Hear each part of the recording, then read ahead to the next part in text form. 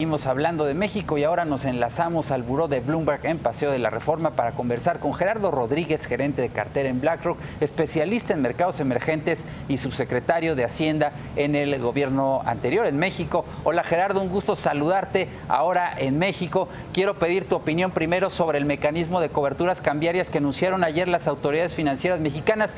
¿Era necesario un instrumento así para absorber el riesgo cambiario? Víctor, buenas tardes. Es interesante lo que sucedió con el anuncio de ayer porque, digamos, ha sido eh, realmente muy complicado el poder navegar este entorno en donde distintas variables que no tienen nada que ver con los fundamentales económicos de nuestro país se han convertido en los determinantes principales de lo que pasa con, eh, con el peso. Entonces, eh, desde el punto de vista de manejo de política cambiaria, pues lo que hemos visto es que las autoridades han explorado distintos mecanismos, existe un menú, digamos, bastante amplio de posibilidades de intervención que la Comisión de Cambios ha activado en distintos episodios y lo que vimos ayer fue una adición a este menú con algo de creatividad al utilizar el tipo de cambio forward o o contratos forward en lugar de eh, ventas en el spot y lo que esto va a permitir es, digamos, tener un efecto en el tipo de cambio sin que necesariamente el ejercicio de estas coberturas se vea reflejado en una disminución en la reserva. Con independencia del programa de cobertura, se confirma que el peso mexicano ha sido la moneda emergente más revaluada contra el dólar en lo que va del año y de hecho eh, de la era Trump. ¿Qué está viendo el mercado de México? ¿Ha vuelto la confianza de los inversionistas en los activos mexicanos, Gerardo? Lo que sucede, Víctor, es que realmente los fundamentales económicos en México son bastante sólidos. México es un país, eh, digamos, que tiene un marco de política económica pues bastante, digamos, conservador, bastante eh, sólido.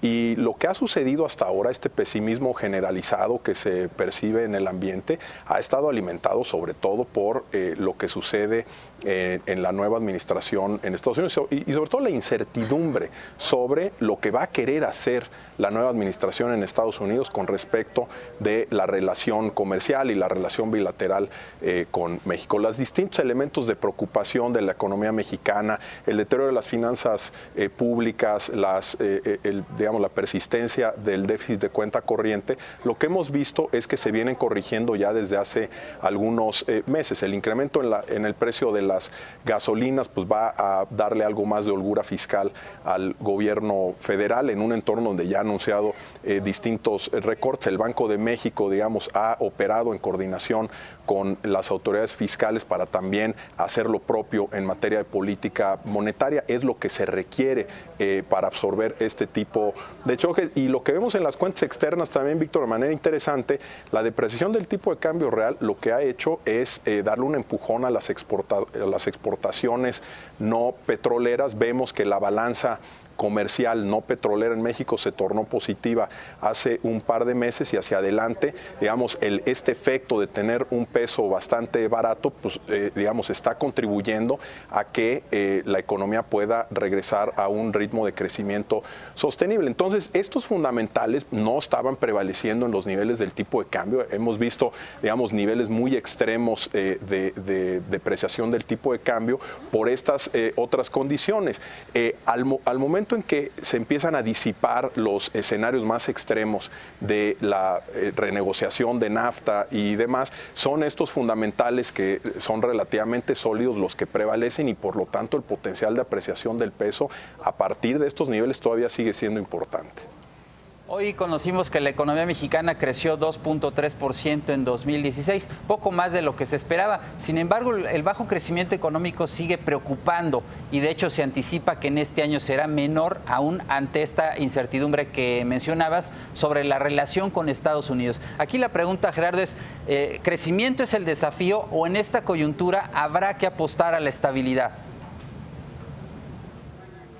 Yo creo que eh, un poco en ambos, eh, Víctor, porque no se puede tener crecimiento sin estabilidad.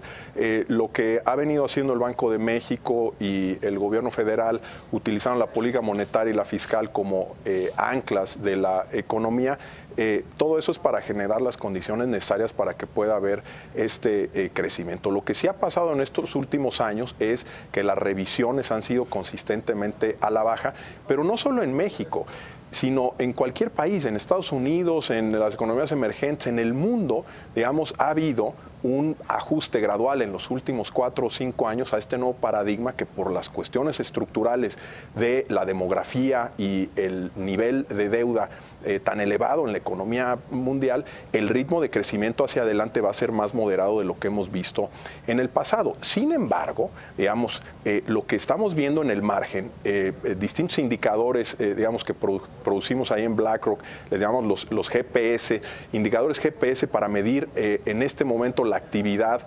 económica en distintos países, nos muestra que la economía mundial se está acelerando de la manera más sincronizada de lo que hemos visto después de la crisis.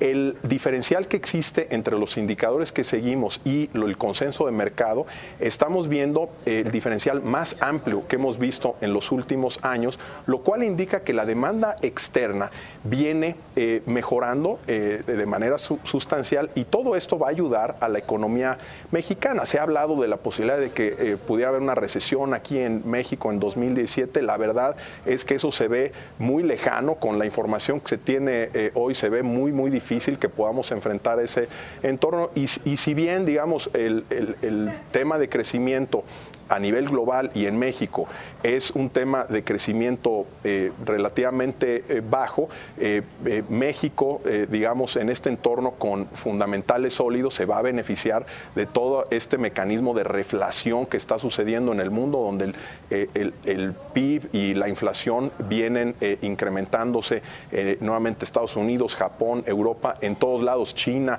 está mostrando también signos de aceleración económica y este entorno externo pues es idóneo para una economía mexicana, digamos, bien eh, conectada con el resto del mundo para eh, tener un año sólido en 2017. Bien, Gerardo Rodríguez, gracias por esta entrevista para el financiero Bloomberg. Un abrazo.